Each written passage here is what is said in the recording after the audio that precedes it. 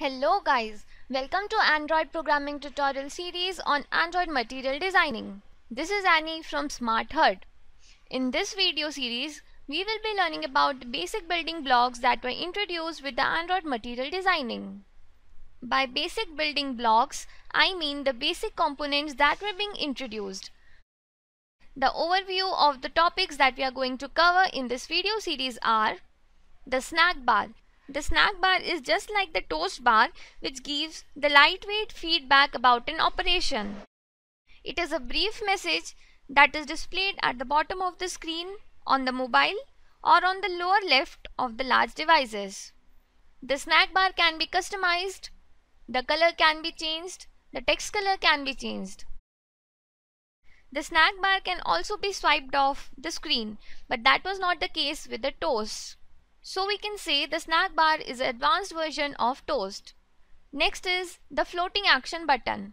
We will be learning about the floating action button which is a small circular widget type component that we can use to perform some specific actions. The third topic that we are going to cover in this series is the use of coordinator layout.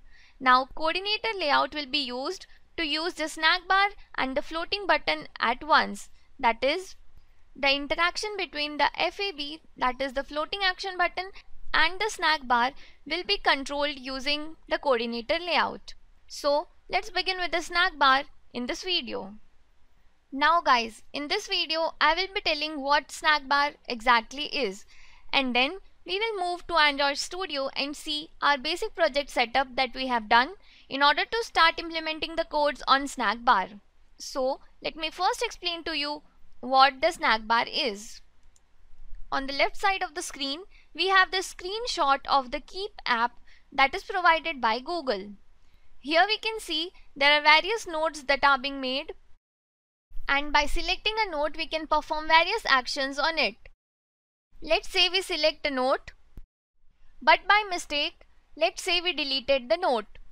When this happens what do we do? Once the action is performed we get the snack bar, move to the recycle bin and then we have an action button there of undo. This is what is called the snack bar. It appears from the bottom of the screen and gives the feedback of the operation that we just performed. The feedback given is the note has been moved to the recycle bin. And then it shows the undo button which says you can undo the delete operation which you just performed. This is what snack bar exactly is. This snack bar automatically disappears after a timeout or when the user taps or performs an operation somewhere else in the screen. Moving further, I'll tell you about the kinds of snack bar that we can use in our Android application. Here on the left side we can see the Gmail application where a mail was selected and reported as spam a toast message or the snack bar appears at the bottom of the screen which says one reported as spam and there is an action button which says you can undo the action. So what the snack bar exactly is? It is a lightweight feedback like the toast. As I already said, it tells about the operation that is being performed. It disappears after a timeout. That is, until the time for the snack bar is defined, it will disappear after a certain interval of time.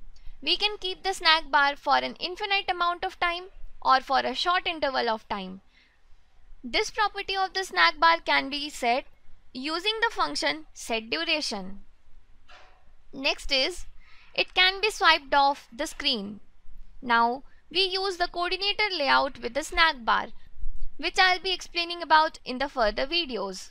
So, when the coordinator layout is applied to the snack bar or when the snack bar is used with coordinator layout as the parent layout, a property is added to the snack bar. That is, it can be swiped off the screen.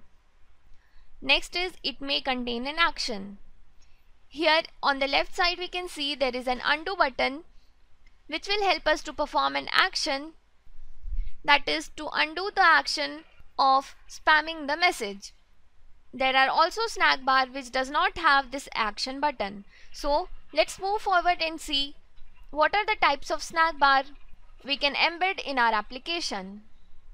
So, the first kind of the snack bar which we can use is a simple snack bar.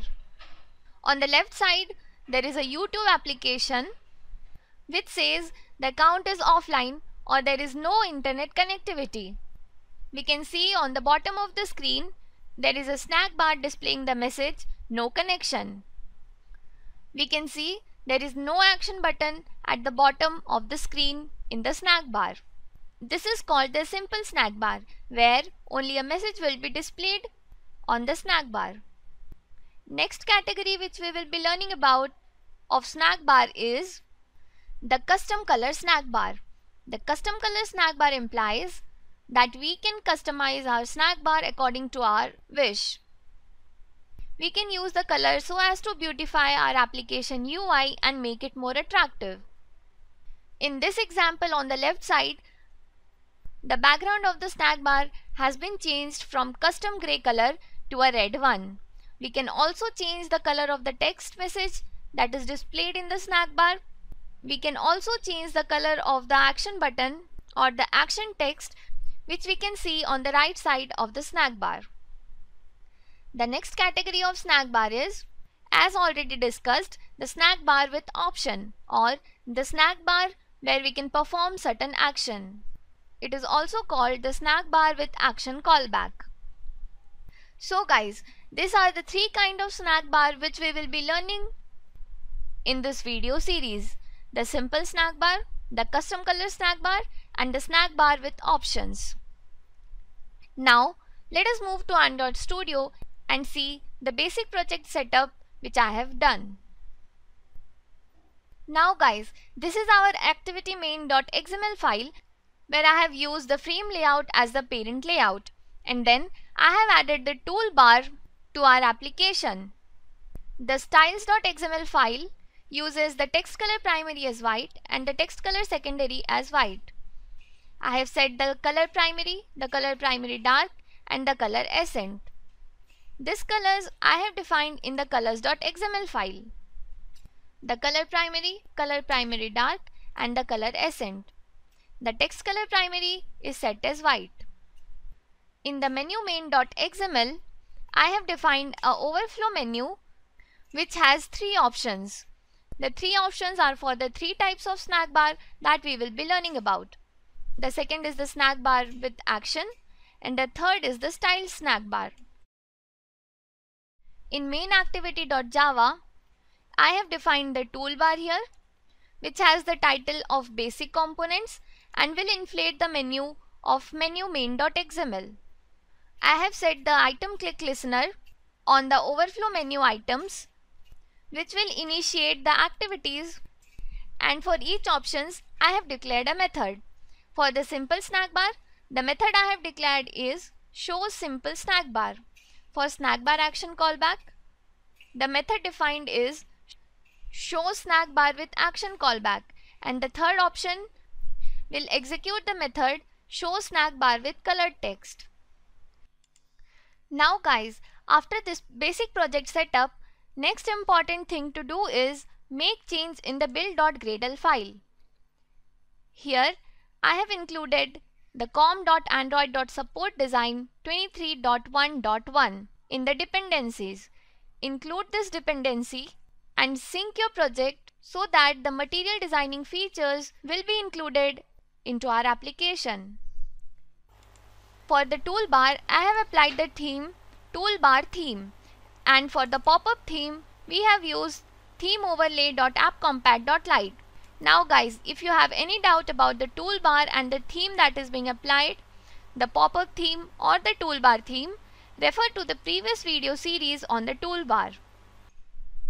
Now let us run our application and see the present status of our app. So this is our application with the title basic components. There is the overflow menu. There are three options that is simple, action and styled. In the next video, we will be defining the codes for each type of the snack bar and we will be learning the detail of the snack bar. That's all for this video guys. If you like it, hit like, share and do comment below the video. Take care and have a good day.